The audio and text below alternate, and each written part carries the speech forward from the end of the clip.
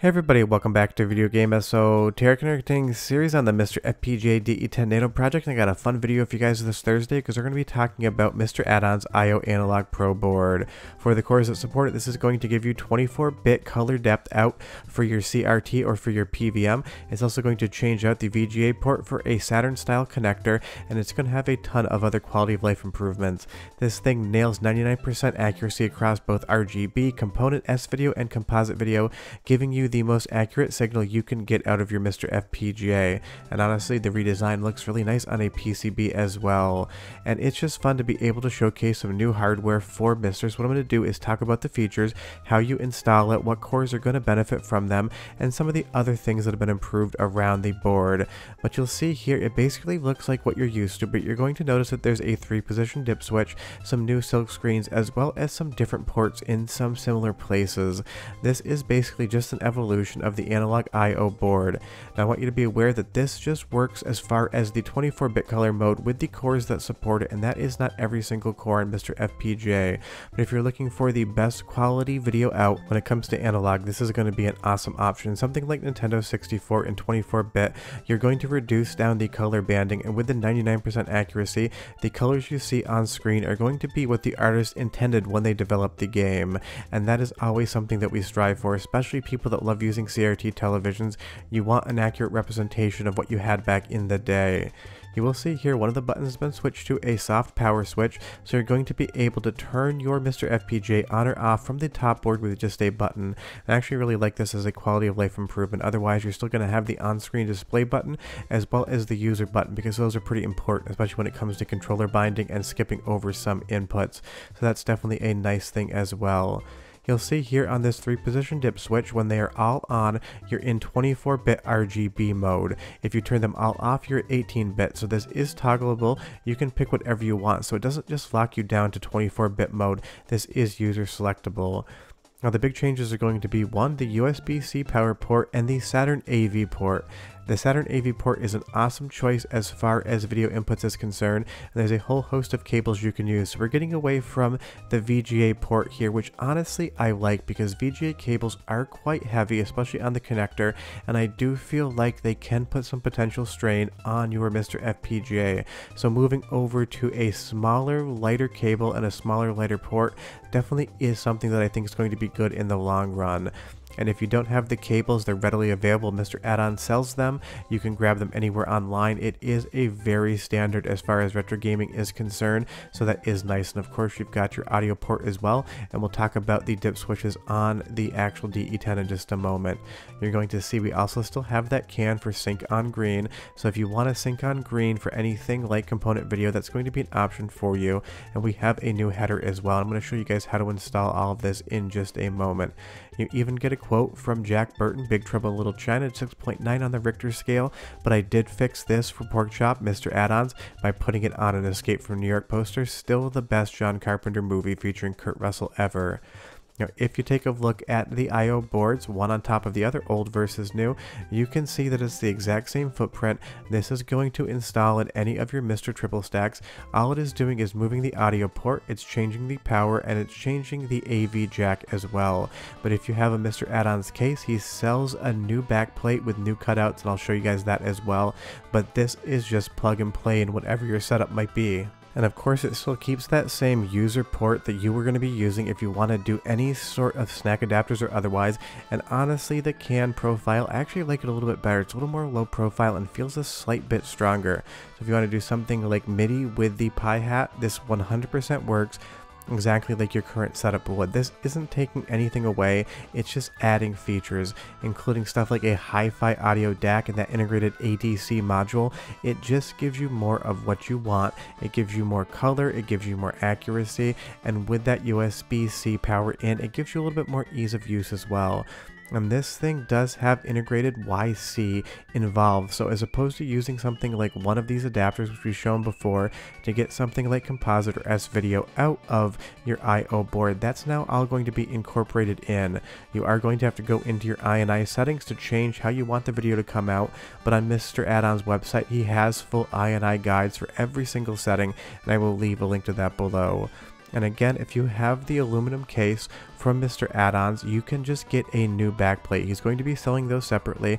It's not too much whatsoever. So you basically just unscrew the four screws at the back of your MiSTer case and you can pop a brand new IO shield on. This is a demo model, so there's a little text there that I don't think is going to be in the final, but otherwise this is going to allow you to accommodate for that new setup the USB-C power in, the Saturn AV jack, and there is another IO board as well that's going to allow you to do both dual RAM and analog out in a very specific manner. I will probably do a video on that in the future if you guys are curious. Leave me a comment down below. Now if you take a look here, the power is going to change completely on what you're used to. Normally we have these two barrel jacks here and we're going to be putting a power splitter in. This is the most common MiSTer setup right now unless you have the dual RAM board or you have a power switch on that digital I.O. But we're going to be completely removing this pigtail and you're going to move into this jumper jack right here. This just connects both the DE10 Nano and the USB board and then we're going to be powering this new top Analog Pro I.O. via USB-C. So it's going to be one plug, one button, your MiSTer turns on, your MiSTer turns off, versus having that pigtail because honestly, those barrel splitters, the switch in line, for me at least, has proven to be slightly temperamental over time. You've got a power button on, you can turn it on, you can turn it off, no big deal. Now when it comes to a power adapter, anything carrying 5 volts and 3 amps will work. I use my Steam Deck adapter because it's what I had here, but honestly finding a 5 volt 3 amp power supply with a USB-C port is like finding water in the ocean. It's readily available and it's not hard to locate. Now to switch your I.O. boards out, it's basically the reverse of doing a build, and I will leave a link in my build guide below. That way if you want to see a little bit more in-depth version of it, you can. But all you're going to do is pop off the four standoff screws from the top and then we're going to remove that top IO board to switch out the Analog Pro. Now I leave my RAM module in when I do this because there is enough tolerance behind it so that you don't knock on any of the surface mount resistors. You can 100% take this off and you probably should. I can fit it, I'm very careful, but if you're concerned at all about hitting the RAM, just remove the module and reinstall it once you're done. Ounce of prevention is worth a pound of cure in this situation. And because there are pins on both sides, get your fingers underneath both directions and just start to apply light pressure wiggling up. It will come off. It's just like disassembling a Lego. Just don't go crazy strong on this. If it's not moving, you have to check why. Now while you have your old I.O. board off, you're going to see these four dip switches here. The one on the right is zero. In the down position, you're going to have digital audio out from the jack. In the up position, you're going to have analog audio. So pick and choose wisely what you want because if you're in a case, it's very hard to move that dip switch. You got to disassemble.